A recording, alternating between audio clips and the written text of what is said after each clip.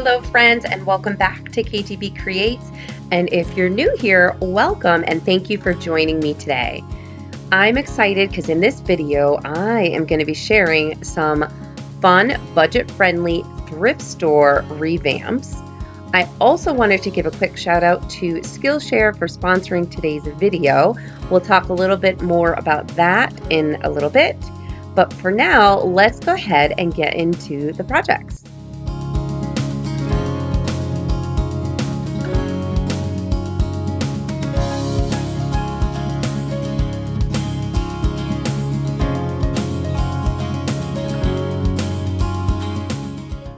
Okay, so for this first project, I was so excited when I saw this in the thrift store. Thrifting is one of my favorite things to do because you can find so many cool things uh, really, really cheap, sometimes even brand new.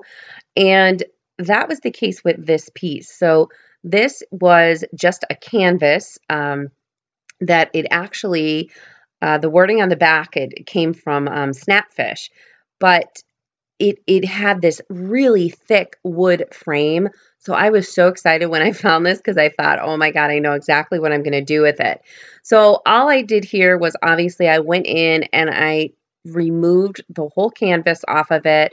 So that's all I'm doing here is, is um, kind of taking that all apart. I didn't go through the trouble of removing the staples because um, we're going to do a reverse canvas here. So you're not going to see any of that. So it's really not necessary. But look at the size of that frame. It was about one and a half inches thick um, all the way around. It was beautiful. I was so excited.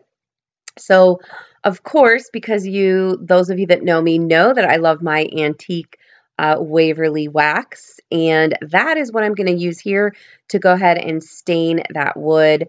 I, again, it was a nice wood and I wanted to just bring out some of that grain and just warm it up a little bit. So I am going to apply a nice even coat with my antique wax and then I'm just going to wipe off the excess with a wet wipe.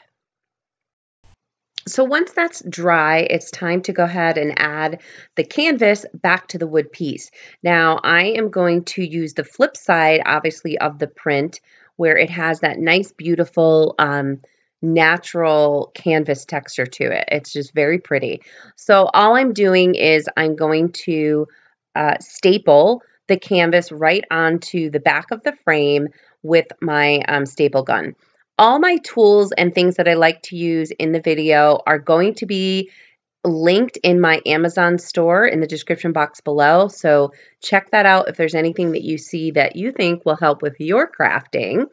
Um, but make sure you're pulling this canvas nice and taut so that it's nice and tight when um, we're going to flip it over and, you know, add our decorations to it. Then obviously all you have to do is trim off all of that excess canvas with a nice sharp um, X-Acto knife or a razor blade of some sort. And you're just going to cut that right off and remove that.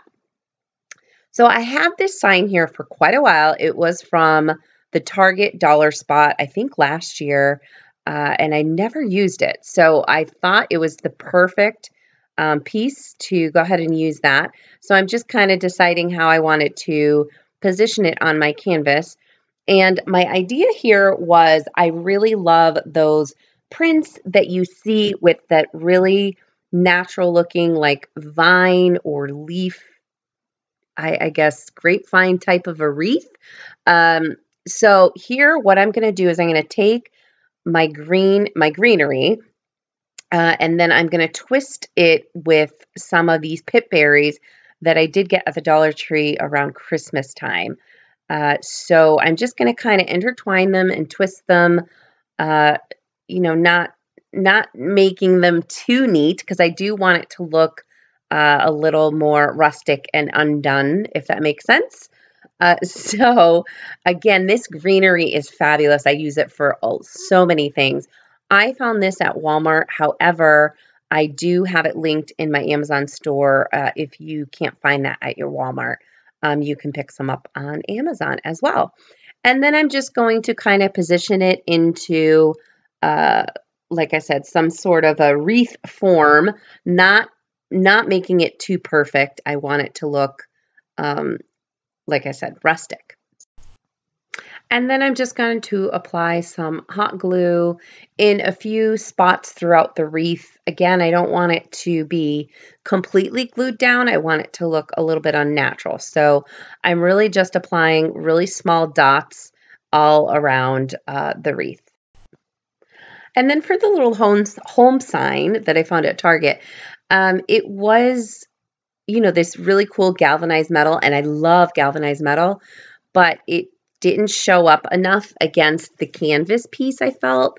Uh, so I wanted to just um, antique it a little bit. So I'm just adding, I'm just really pouncing on some antique Waverly wax all around it just to, I guess, dull it up a little bit and um, make it stand out a little bit more within my sign. And then we are all set to glue it right to the sign. Uh, I am gluing it right to all of that greenery and it works out and fits in there perfectly. Uh, and I just love the way that this came. Uh, so you guys have to let me know what you think. I am doing four different projects here today, so let me know which one is your favorite down below. If you know me, you know that I love to um, finish off my pieces and make sure it looks all pretty on the back as well. So that's all I am doing here is applying my craft paper to the back. And then we are all finished with our project. So let's go ahead and take a look at the finished result.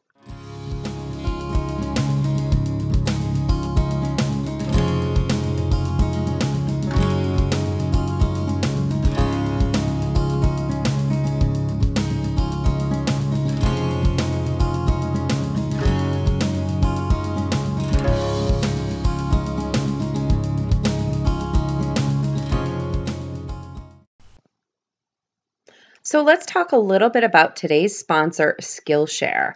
Skillshare is an online learning community for creatives just like you and I. They have a library filled with thousands of inspiring classes in all sorts of things like photography, video, design, illustration, and so many more. What I love about Skillshare is that most classes are under an hour so you can easily fit them into your schedule and skill level. The best thing is is that the classes are specific to learning, so there are absolutely no ads and they're always launching new classes. So you can get an annual subscription at less than $10 a month. Skillshare has a special offer for you today. So the first 1,000 subscribers to click the link in the description box will get a free trial of the premium membership so you can explore your creativity. Be sure to check it out today. So for this next little project, I found this adorable little sign. It's so old and rusty. I paid, I think, about 50 cents for it. So, of course, we're going to take some paint and give it some new life. So, I am using uh, Silver Lining here by Waverly. And I'm just going to go ahead and give it a good um, two coats of this on the front and back, of course, just to finish everything off. And we're just going to use this as a little cute little decorative piece. I like to hang stuff on a gallery wall I have in my dining room or you can um, actually use it for a tiered tray if you want to do something like that. But I found this little saying on Pinterest and I cut it out with my Cricut and it says, please excuse the mess, but I craft here. And that is literally the story of my life because I craft in my dining room. So it's perfect. and then just to finish it off a little bit, I decided to go ahead and add some wooden beads to the top of it just to give it a little bit more of a decorative look. Uh, so all I did there was I added on a few beads and then I tied off the ends and just twisted them so obviously the beads will stay put.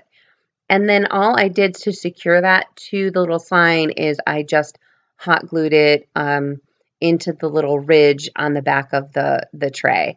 So this is just a cool idea because I think it's something so simple that anybody can do, even with some Dollar Tree stickers and letters and things like that.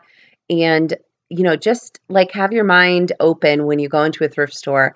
There is there are so many cute little projects and things that you can come up with with such inexpensive pieces. So here is what it looks like uh, on my gallery wall, and I just love it. I love the little saying, and I think it adds a really cute, uh, perfect touch to my dining room decor.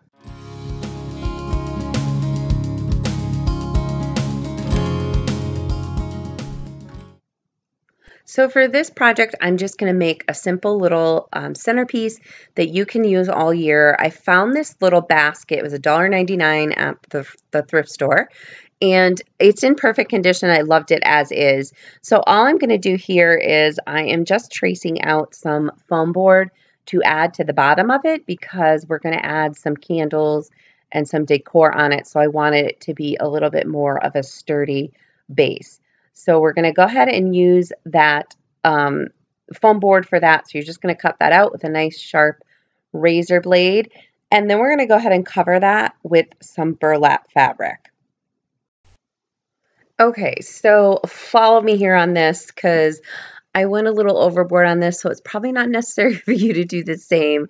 But I cut out a piece of burlap and I applied it um, specifically to the shape of the bottom cutout uh, and then I realized that you can see like the sides of the foam board. So then I just went ahead over it and I cut out another piece of burlap and I folded that over the edges. Uh, so you you probably it's not necessary to do the the uh, first step, but I did want to let you know that that's what I did. Uh, so I'm just going to simply overlap that burlap onto the foam board with some hot glue and um, seal it all together.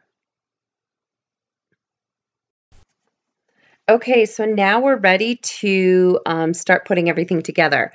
So if you're a crafter, you understand the idea of saving absolutely everything. And these are those little pots that the Dollar Tree succulents come in. I always save them because they come in handy for all kinds of projects. So we're just going to hot glue them upside down to the bottom and to glue them right to the um, bottom of the foam board there uh, because we needed a little bit of a, a riser within uh, to do to put everything together and do what we're going to do next. Uh, I then did decide that I wanted to go ahead and add some burlap into the little basket uh, just to decorate it a little bit more. So I cut out a nice big piece to that and then added the foam board inside of that. And then to secure that, I'm just going to kind of pleat it in different spots and hot glue it right to the side of the wire basket.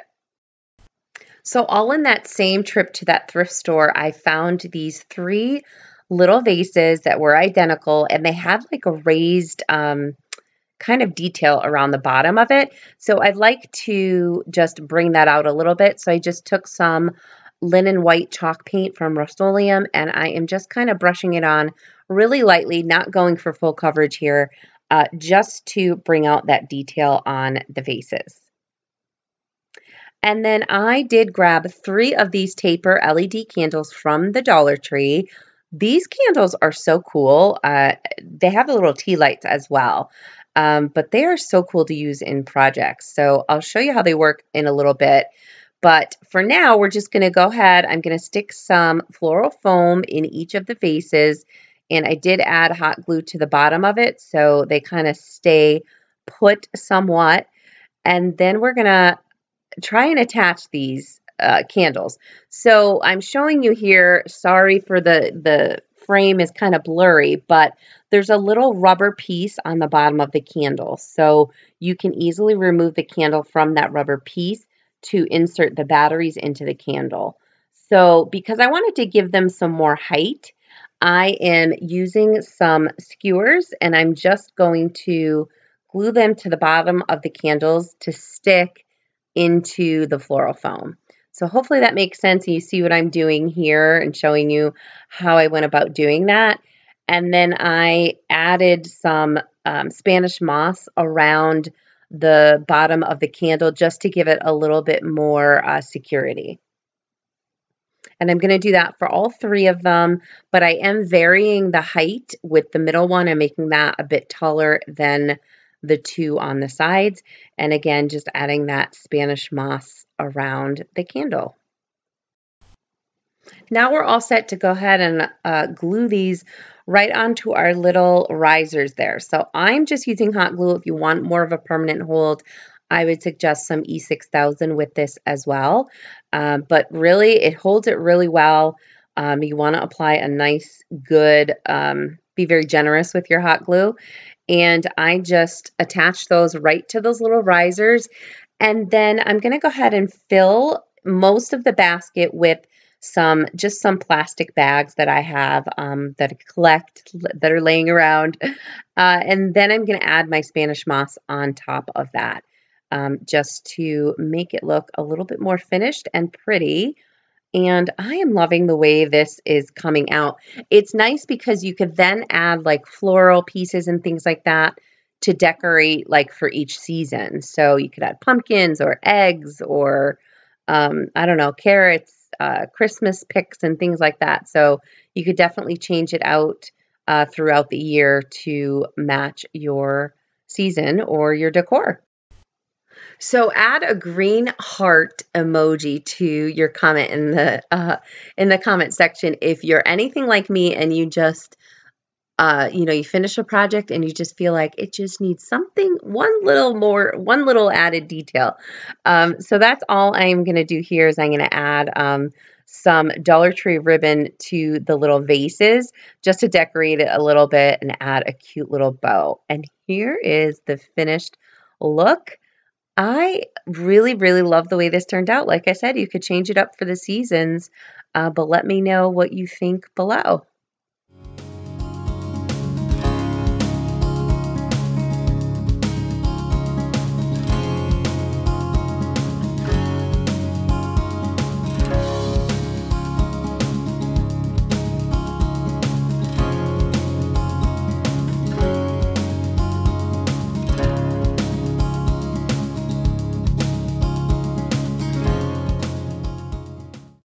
This last one is super simple and easy. I found this at the thrift store. It was originally from Hobby Lobby.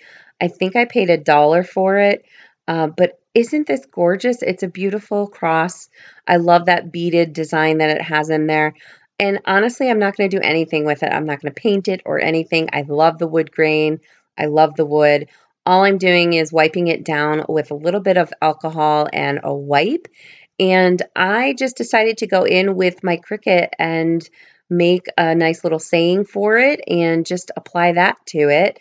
Uh, you could do the same with some rub-on transfers from Dollar Tree or add, you know, you could even do some hand lettering on it or just add some nice detail. But I absolutely love this cross. I thought it was so beautiful. So I just added the wording Amazing Grace and I am just thrilled with the way it turned out. So um, here, here it is, uh, me showing you how to apply that lettering and then the finished result. I hope you guys really enjoyed this video today. If you wouldn't mind, let me know which one is your favorite down in the description box below. Like I said, leave that green heart emoji if you're like me and you finish your project and you feel like it just needs one more added thing. Um, I'm always doing that with my projects. Thank you so much, everyone, for joining me today. Don't forget to check me out on social media. I love to share things over there as well. You can also private message me on Instagram and chat. So, have a wonderful week. I will see you all very soon.